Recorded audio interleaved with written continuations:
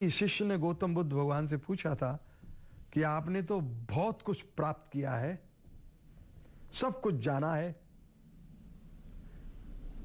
थोड़ा हमें भी बतलाइए। तो बुद्ध कहते हैं कि जितना भी मैंने जाना है, वो सिर्फ़ ऐसे ही है जैसे पृथ्वी में से कोई एक कण को मैंने जान लिया हो। ये अनंत को, ये परमेश्वर को कोई नहीं जान पाया है। ये अनंत है। अखंड है अछेद है, अभेद है। अद्वैतम, अच्युतम, अनादिम अनंत रूपम आद्यम पुराण पुरुषम नवयौवनम च। वेदेषु दुर्लभम, अदुर्लभम आत्मभक्तो गोविंदमादिपुरुषम तमाम भजामी। वेदेशु दुर्लभम। उन्हें जानने के लिए चलोगे तो कभी नहीं जान पाओगे। सुदुर्लभम। वेदेशु दुर्लभम, अदुर्लभम आत्म भक्तो लेकिन आत्म भक्तो यानी जो भगवान के परम प्रेमी भक्त हैं,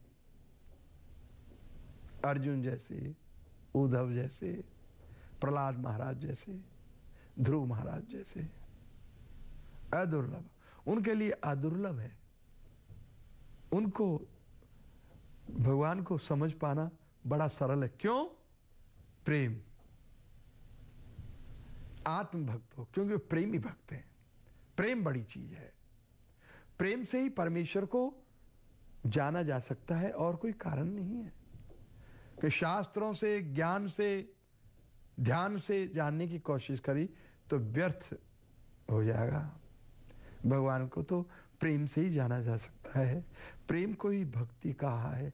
भक्ति विलोचने न प्रेमांजन छुरिता। भक्ति विलोचने न भक्ति भरे नेत्र होने चाहिए। भक्ति के चक्षु होने चाहिए, प्रेम के चक्षु। तब उनको, उनकी पहचान होती है, जल्दी से पहचान होती है। फिर वो जर्रे जर्रे में नज़र आते हैं। जर्रे जर्रे में है झांकी भगवान की, किसी आँख वाले ने इसकी पहचान की। वो छोटी छोटी चिड़ियों में भी वो ही बसा हुआ है।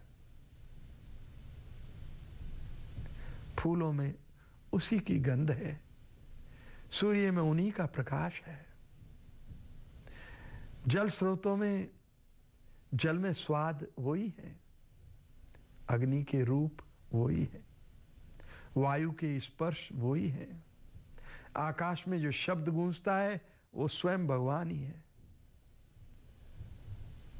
ये भगवान के कलाएँ हैं, विभूतियाँ हैं। भगवान ने कहा कि वेदों में ऋग्वेद में हूँ।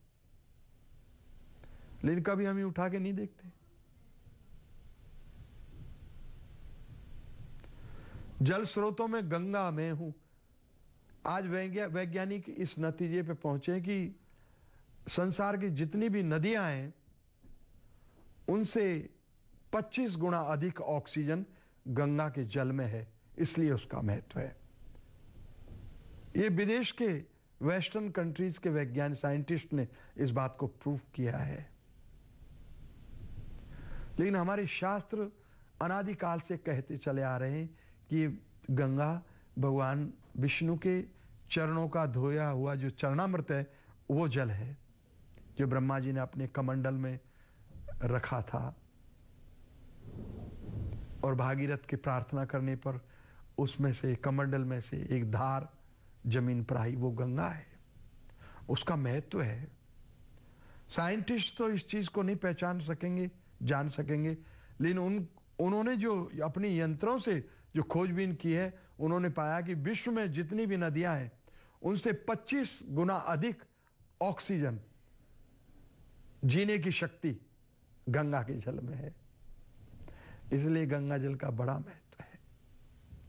और जब आदमी शरीर त्यागता है तो गंगा जल उसको एक टप का डाल दो तो तुरंत ही विष्णु भगवान की याद करता है कि विष्णु के चरणों से आई हुई है। उसकी परम गति हो जाती है। अंत मता सोगता भगवान की याद करते हुए शरीर छोड़ जाए तो धन्य हो जाता है वो प्राणी। यम यम वापी स्मरम भावम त्यजत्यंते कलेवरम, तम तमय वैती कौनते, सदा तद्भाव भावित। अभ्यास करेंगे जीवन भर तभी भगवान की अंत समय में याद आती है और अंत समय में याद बनी रही भगवान की तो निश्चित रूप से आप भगवान के धाम के वासी बन सकते हैं, वैकुंठ के वासी बन सकते हैं। केवल कहने मात्र से नहीं कि पिताजी का स्वर्गवास हो गया या वैकुंठ सिधार गए, कहने से नहीं, कहने से काम नहीं चलता। वो तो आत्मा को तसली देने के लिए बोलते हैं ऐसे। या उनको गए हुए प्राणी का सम्मान करने के लिए बोलते हैं ऐसे। सीधा नहीं बोलते कि मेरा बाप मर गया। बोलते हैं, स्वर्गवास हो गया। चिट्ठियों में लिखते हैं, पिताजी का स्वर्गवास हो गया है। फलाने दिन बारवा है, ज़रूर पधारना। हरे कृष्ण हरे कृष्ण कृष्ण कृष्ण, हरे हरे। हरे राम हरे राम राम राम, हरे हरे। ये परम रहस्यमयी महामंत्र है भगवान को रिझाने का। इसके नामों का जिन्होंने आस्वादन किया है, उनको ये प्रभाव मालूम है। ये हमारी आत्मा को, हमारी भावना को निखारने के लिए बहुत बलशाली मंत्र है, क्योंकि स्वयं भगवान की पवित्र नाम इसमें है, होली नेम्स ऑफ़ गॉड। पवित्र नाम ही आपको पवित्र कर सकते हैं। बाकी तो कोई ज़रिया नहीं है। ये कपड़े में मैल जमा हो तो साबुन चाहिए तो तुरंत साफ़ और उज्जवल हो जाता है। सनलाइट साबुन हो, एकदम उज्जवल हो जाता है। ऐसे ही आपको कोई ऐसा पवित्र, परम, शक्तिवान नाम चाहिए जो भावना को उज्जवल करे हमारे और हमारी भावना उज्जवल होगी, तभी हम सुखी होंगे। ये कभी नहीं भूलना। हम जितनी गंदी भावना के होंगे, उतने ही हम दुख में होंगे। पूरी तरह। पेन एंजाइटीज काम, क्रोध, मद, मोह, मत्सर लाल ये सब हमको सताएँगे। चारों तरफ़ से घेरेंगे। ये छह दुश्मन कहा इनको? सड़ रिपू ये सबसे बड़े दुश्मन है हमारा पतन करने के लिए, हमको रैश करने, हमारा हराश करने के लिए, हमको नरक तक ले जाने के लिए। इनसे बचना चाहिए। यहाँ पर तीन गुणों का सत्रहवें अध्याय में भगवान श्री कृष्ण ने बहुत विशेष ज़ोर देकर के अर्जुन को कहा है, बोला है ज्ञान उपदेश किया है। श्रद्धा के विषय में बतलाया कि श्रद्धा जो हृदय में होती है, श्रद्धा का उदय होता है नाभि से, नाभि के अंदर से। हृदय में आकर के इसका फूल खिलता है, श्रद्धा बलवती होती है। श्रद्धा के बिना प्रेम उदय नहीं होता। पहले श्रद्धा उदय होती है श्रद्धा में प्रेम रूपी फल पकते हैं, फल लगते हैं। श्रद्धा ही नहीं है आपको भगवान के प्रति या किसी के प्रति तो प्रेम कैसे उदय होगा?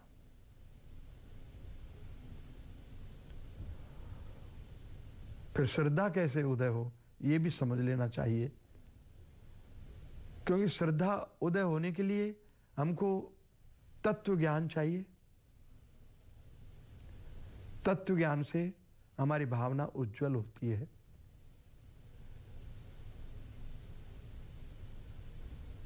एक माँ अपने बेटे को, पुत्र को, छोटे बच्चों को बार बार नाम ले लेके पुकारती है तो उनके प्रति बहुत स्नेह पैदा हो जाता है।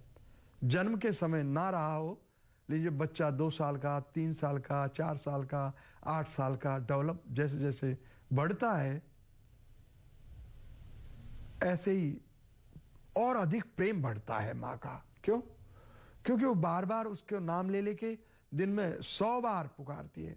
अरे बेटे, अरे रामलाल, अरे कृष्णलाल, अरे जो भी नाम रख दिया हो तो प्रेम उदय होता है। ऐसे कभी हम हरि को अब उनके नामों से पुकारते हैं तो हरि के प्रति हमारे हृदय में प्रेम जागृत होता है। प्रेम जागृत होता है तो फिर उनको जानने की कोशिश करते हैं हम। जानने की कोशिश करते हैं, भगवान को तो शास्त्रों को कंसल्ट करते हैं, ज्ञान प्राप्त करते हैं गुरु जी के चरणों में बैठते हैं, जिनको अनुभव हो गया है रियलाइजेशन हो गया है, भगवान का आत्मा का साक्षात्कार हो गया है, भगवत साक्षात्कार हो गया है ऐसे संतों के चरणों में जाके सर टेकते हैं कि हमको भी कुछ ज्ञान मिले। उस ज्ञान से श्रद्धा पैदा होती है। जो अनुभव उस महान आत्मा ने किया, जिन्होंने तत्व से उस ईश्वर को पहचाना, जाना, वो ज्ञान उपदेश करता है। उनके वाक्यों में श्रद्धा पैदा होती है, गुरु के वाक्यों में। फिर उन वाक्यों से प्रभु में श्रद्धा पैदा होती है। परमेश्वर में श्रद्धा पैदा होती है। तभी तो भगवान श्री कृष्ण ने उपदेश किया तद्विधि प्रणीपातेन परिप्रश्न सेवया उपदेक्षन्ति ते ज्ञानम ज्ञानिनस तत्वदर्शिना हे अर्जुन, तू मेरे किसी ऐसे भक्त की शरण में जा, जो मुझे तत्व से जानता हो। वो तुझे ज्ञान उपदेश करेगा। जिस ज्ञान को प्राप्त करके तू मुझे जान लेगा।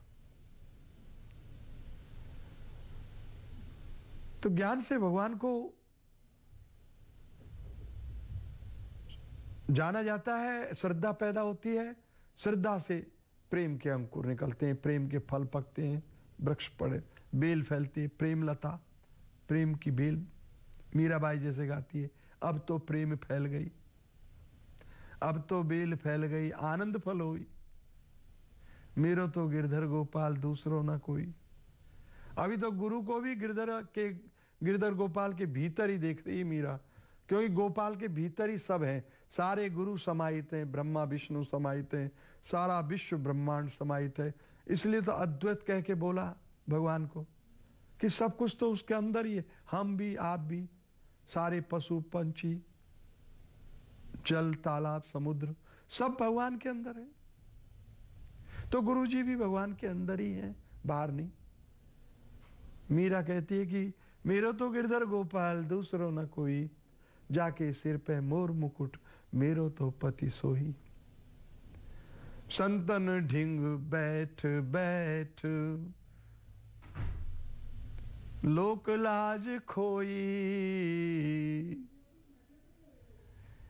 संतन के बीच में जाकर मीरा नाचने लगी। भगवान की गुणा, गुणगान करने लगी।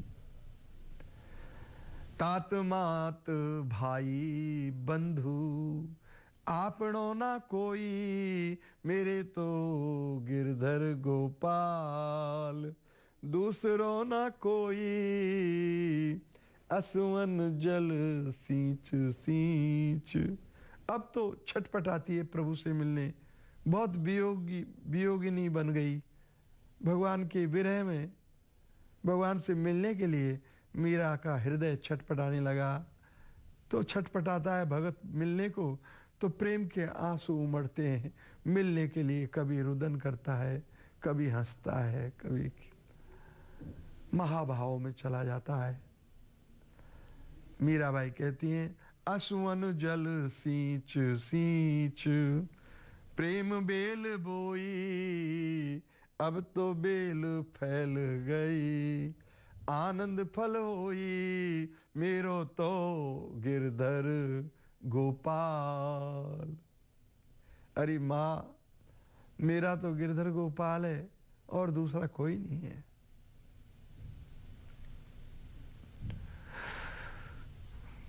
भगवान की शरण में आइए। भगवान के पवित्र नामों का जाप कीजिए, ये शरण में आने का एक सीधा मार्ग है। उन्हें कभी नहीं बिसारे, बिसारिए। उठते, बैठते, सोते, जागते, नहाते, धोते, खाते, पीते, चलते, फिरते, बच्चों को खिलाते, कमाई करते। कभी भी भगवान को नहीं बुलाइए। भगवान आपके हृदय में, आपके प्रत्येक छोटे से छोटे भाव को भी भगवान पकड़ते, मालूम है उनको? कि आप क्या विचार कर रहे हैं? आपके कर्मों के विचारों के साक्षी हैं। पूरे विश्व के साक्षी भगवान हैं। आत्मा के अंदर वो विशेषता है जो परमात्मा के अंदर है, परमेश्वर के अंदर है। अंश रूप से, जैसे सागर की बूंद में वही गुण तत्व है जो सागर के अंदर है। जैसे सागर सॉल्टी है, ऐसे ही वो बूंद भी सॉल्टी है, तरल है सेम क्वालिटी ऐसे ही हम भगवान के ही अंश हैं, आत्मा है। इसलिए गुण धर्म हमारा और हमारी प्योर कॉन्शियसनेस का भगवान से मिलता है एकदम। लेकिन हम उस स्थिति पर नहीं है। हम हम प्योरिटी को खो चुके इसलिए अभी भगवान को भी पहचानते नहीं है। अरे भगवान को तो दूर, अपने आप को ही नहीं पहचानते। और जीवन जीते हैं, या तमोगुण में, या रजोगुण में। कोई कोई संत सतोगुण में जीता है अपने जीवन को। कोई कोई पूर्ण आत्मा सतोगुण में जीती है अपनी, अपने जीवन को। नहीं सतोगुण सुखकारी है। इसलिए तो भगवान ने देखो यहाँ पर कितना सुंदर श्लोकों में ये तीनों गुणों का वर्णन किया है।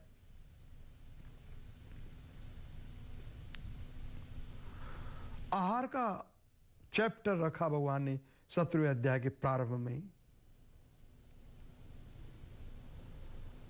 आहार भगवान ने क्यों रखा?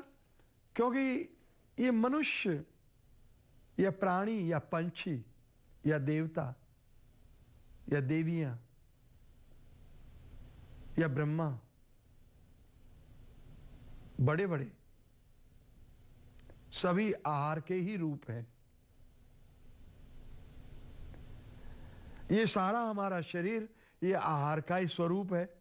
जो जो आहार हमने किया, खाया, पिया, वही तो डेवलप हुआ है चाहे वो माँ के गर्भ के अंदर कुछ आहार मिला हो, या बाहर आने पे स्तन पान करके मिला हो या बड़े होने पे अन्न जैसा भी अन्न खाया हमने, अन्न खाया वेजिटेबल्स खाई फ्रूट खाए, दूध पिया, माखन, मलाई खाए, उसी से ये शरीर डेवलप हुआ है। तो प्रारंभ में टीचिंग देने वाली माँ है, वो पहला गुरु है समाज का, ये शरीर का, बच्चे का, अपने बच्चे का माँ गुरु है। जैसे जैसे माँ उसको खिलाती पिलाती है, बच्चा खा जा, खाता है, पीता है और बड़ा होता जाता है। और उसकी भावना में वो जैसा भी खिलाती है, वैसा जड़ पकड़ लेता है कि यही भोजन अच्छा है, मेरी माँ खिलाती है। इसमें दोष क्या है? शुद्ध दूध है, गाय का, पनीर है, मक्खन है, घी है, मिश्री है, गन्ने का रस है, सुंदर गेहूँ की रोटियाँ हैं, बासमती चावल है खा खा के मैं शरीर खुश है, प्रसन्न हूँ। तो जो शुद्ध माँ होती है, वो सतोगुणी भोजन खुद भी करती है, अपने पति को भी करवाती है और अपने बच्चों को भी करवाती है। तो वो शरीर, उस परिवार के शरीर सतोगुण में प्रबल होते हैं। उनके भावना में मन मस्तिष्क में, बुद्धि में सतोगुण प्रबल अवस्था में होता है। सतोगुण की परसेंटेज हाई होती है। बाकी रजोगुण नीचे दबा रहता है, तमोगुण और भी बिल्कुल दब जाता है।